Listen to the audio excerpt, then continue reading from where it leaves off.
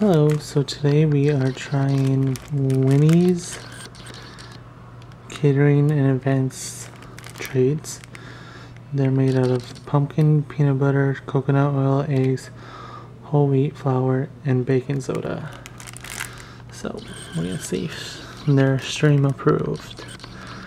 Huh, stream. Sit.